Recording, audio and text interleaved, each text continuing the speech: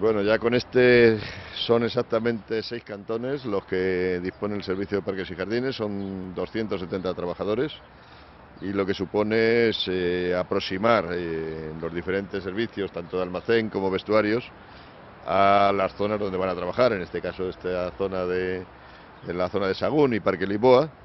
Son unas medidas que hemos negociado con los sindicatos y que responden a tener unos espacios adecuados, eh, tanto para, desde el punto de vista de vestuarios, como he dicho anteriormente, incluso de zonas también de descanso que pueden tener habilitadas.